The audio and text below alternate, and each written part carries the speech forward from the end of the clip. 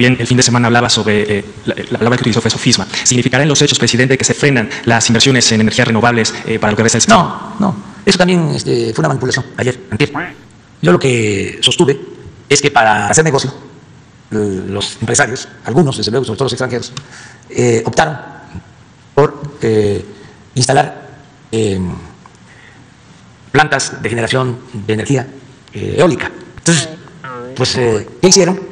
Eh, en la Comisión Federal de Electricidad, o mejor dicho, en el sector energético, por las reformas a la ley, se les dio preferencia a esas plantas de generación con eh, el argumento de que no contaminan. Sí, en efecto, no contaminan. Y que las de la Comisión Federal de Electricidad contaminan. Pues sí.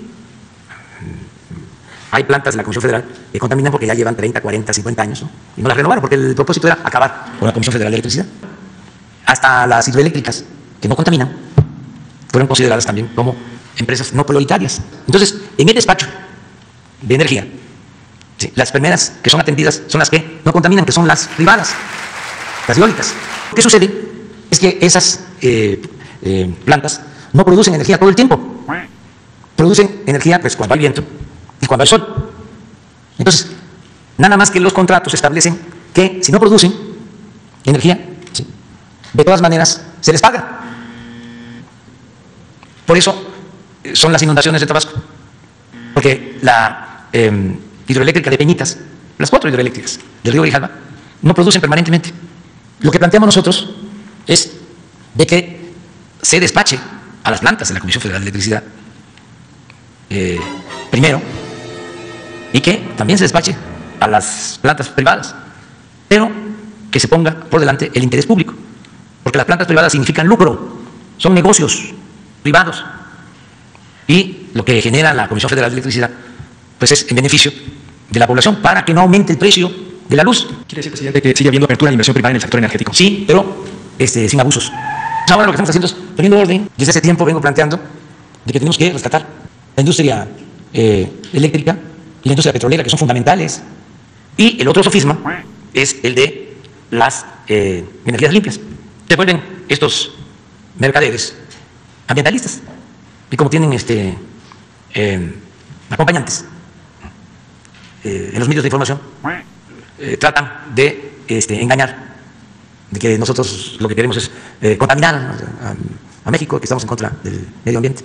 Ustedes saben que si eh, se permitiera que todas las plantas de la Comisión Federal de Electricidad generaran energía, casi se tendría autosuficiencia, aún en la situación que están las plantas. Nosotros, sin nacionalizar, sin expropiar, con los márgenes que tenemos, vamos a rescatar a Pemex y a la Comisión Federal de Electricidad por el bien del pueblo, porque si no, y no es excusa, no podríamos sostener el compromiso de que no aumenten los precios de los energéticos.